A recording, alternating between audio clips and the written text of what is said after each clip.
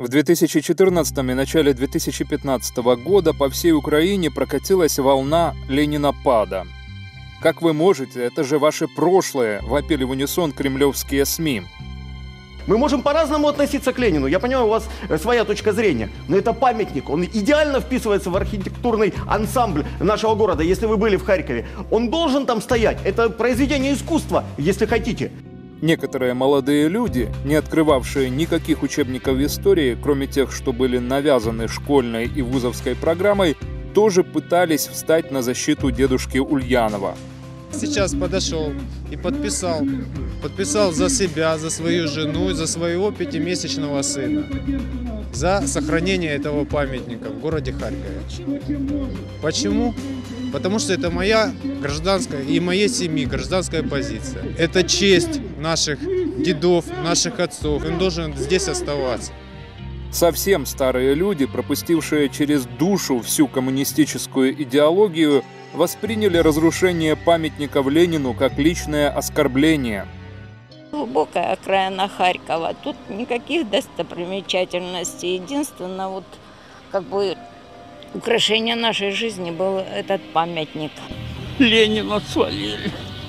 80 лет прожил, я еще такого не видел никогда. Это фашисты, бендеры, все поделают. За годы, прошедшие после смерти вождя, был создан настоящий культ Ленина. Его тело до сих пор лежит в центре столицы России, как символ целой эпохи – но кем на самом деле был идейный вдохновитель Октябрьского переворота 1917 года и первый лидер советского государства? Чтобы понять это, достаточно ознакомиться с выдержками из многотомных сочинений Ленина и рассекреченных телеграмм Ильича. Литвин Алтер. Красный и белый террор в России в 1917-22 годах. Прекрасный план – Доканчиваете его вместе с Дзержинским. Под видом зеленых мы потом на них свалим. Пойдем на 10-20 верст и перевешаем кулаков, попов, помещиков. Премия 100 тысяч рублей за повешенного. Ленин Владимир Ильич, полное собрание сочинений, том 35, из работы «Как организовывать соревнования». Война не на жизнь, а на смерть богатым и прихлебателям, буржуазным интеллигентам. С ними надо расправляться при малейшем нарушении. В одном месте посадят в тюрьму, в другом поставят их чистить сортиры, в третьем снабдят их по отбытии карцера желтыми билетами, в четвертом расстреляют на месте. Чем разнообразнее, тем лучше, тем богаче будет общий опыт – Волкогонов. Ленин. Политический портрет. Ленинское рукописное распоряжение председателю Бакинской ЧК Тер Габриэляну. Можете ли вы еще передать Теру, чтобы он все приготовил для сожжения Баку полностью в случае нашествия и чтобы печатно объявил это в Баку? Ленин Владимир Ильич, полное собрание сочинений, том 50, страницы 143-144. Пенза, Губисполком. Провести беспощадный массовый террор против кулаков, попов и белогвардейцев. Сомнительных запереть в концентрационный лагерь вне города. Латышев. Рассекреченный Ленин. Москва, 1996 год, страница 57 товарищам Кураеву, Бош, Минкину и другим пензенским коммунистам. Товарищи, восстание пяти властей кулачья должно повести к беспощадному подавлению. Этого требует интерес всей революции, ибо теперь взят последний решительный бой с кулачьем. Образец надо делать. Повесить, непременно повесить, дабы народ видел не меньше ста заведомых кулаков, богатеев, кровопийц. Опубликовать их имена, отнять у них весь хлеб, назначить заложников, согласно вчерашней телеграмме. Сделать так, чтобы на сотни верст кругом народ видел, трепетал, знал, кричал. Душат и задушат кровопийц кулаков. Телеграфируйте получение и исполнение. Ваш Ленин. Ленин. Полное собрание сочинений. том 50, страница 165. Саратов уполномоченному наркомпрода Пайкесу. Советую назначить своих начальников и расстреливать заговорщиков и колеблющихся, никого не спрашивая и не допуская идиотской волокиты. Ленин. Полное собрание сочинений. Том 50, страница 178. Свияжск. Троцкому. Удивлен и встревожен замедлением операции против Казани, особенно если верно сообщенное мне, что вы имеете полную возможность артиллерией уничтожить противника. По-моему, нельзя жалеть города и откладывать дальше, ибо необходимо беспощадное истребление. Ленин. Полное собрание сочинений. Том 50. Страница 335. Насчет иностранцев советую не спешить высылкой. Не лучше ли в концентрационный лагерь? Латышев. Рассекреченный Ленин. Москва, 1996 год. Страница 56. Всех проживающих на территории РСФСР иностранных подданных из рядов буржуазии, тех государств, которые ведут против нас враждебные и военные действия в возрасте от 17 до 55 лет заключить в концентрационные лагеря. Ленин. Полное собрание сочинений. Том 39. Страница 315. Крестьяне далеко не все понимают, что свободная торговля хлебом есть государственное преступление. Я хлеб произвел, это мой продукт, и я имею право им торговать. Так рассуждает крестьянин по привычке, по старинке. А мы говорим, что это государственное преступление. Ленин. Полное собрание сочинений. Том 53. Страница 142. Луначарскому. Все театры советую положить в гроб. Наркому просвещения надлежит заниматься не театром, а обучением грамоте. Известие ЦК КПСС, 1990 год, номер 4, страница 190-193.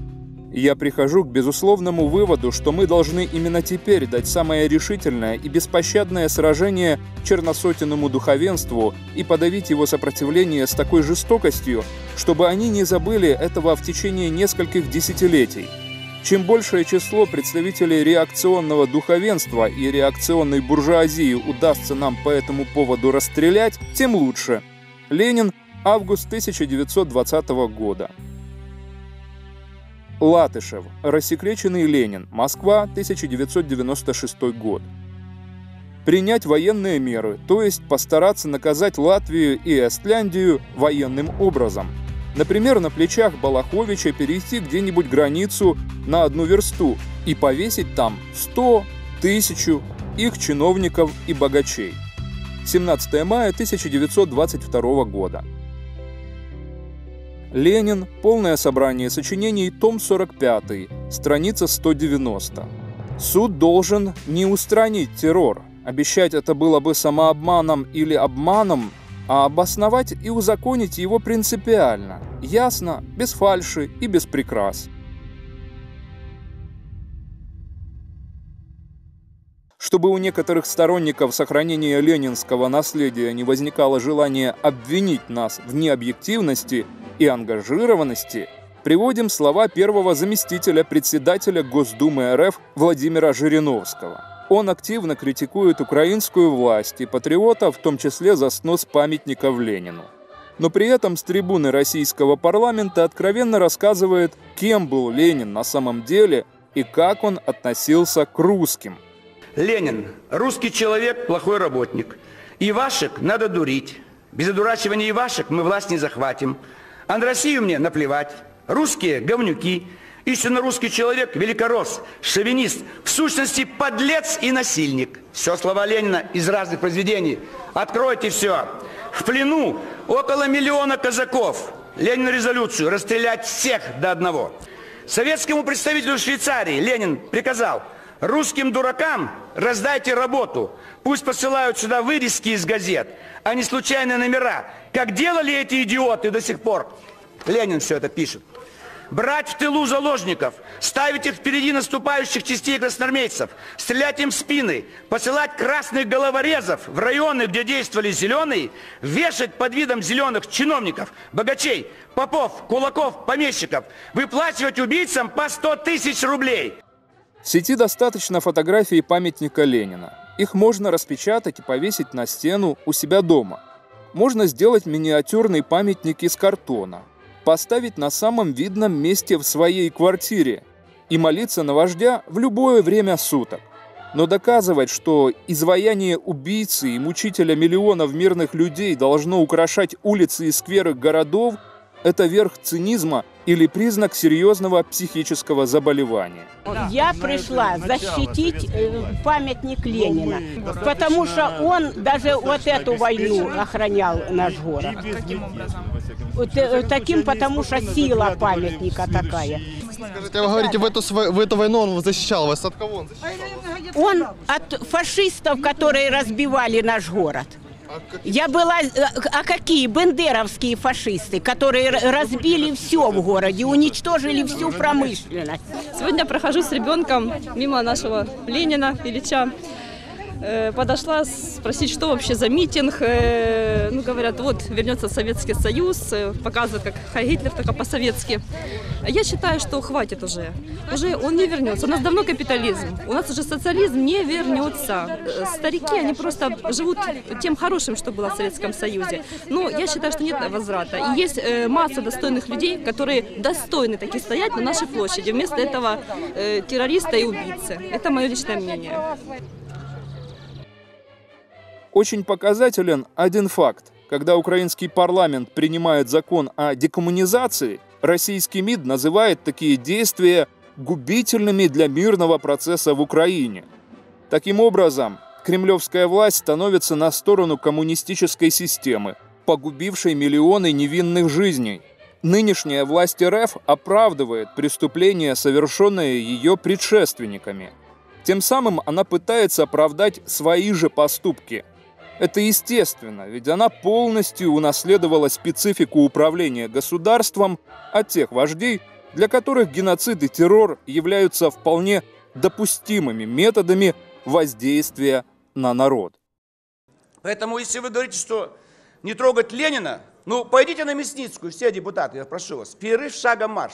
На Мясницкой купите все книги про красный террор, все архивы, все, так сказать, цифры – 24 миллиона положили большевики за гражданскую войну. Представляете? В Великой Отечественной еще 30. И за все 100 лет, а это продолжается у нас, практически э, вот эти элементы, связанные с советской властью, 100 миллионов положили. 100 миллионов человек лежат в могиле. Это мало. Большевики вырезали всю элиту самых лучших чиновников, ученых, офицеров, полиция, сыщиков, ну все самое лучшее. Или в ГУЛАГ, в Сибирь, или просто расстреливали. Откройте труды вашего святого Ленина. Ну на каждой странице расстрелять, расстрелять. Откройте. 55 томов. Вы же сами коммунисты не читаете труды вашего Ленина. Откройте. На каждой странице расстрелять. Только одно, один глагол знал этот человек. Возможно, он был умный. Мы же говорим, что дурак. Но мы говорим о последствиях. А сейчас я радуюсь, что сегодня день рождения Ленина. Я не хочу. До сих пор стоит, а? И радуетесь тому, что памятник стоит до сих пор. И радуюсь из-за того, что я жила при советской власти. И пользовалась всем бесплатно. И жила бесплатно. И советскую власть нам дал Владимир Ильич Ленин.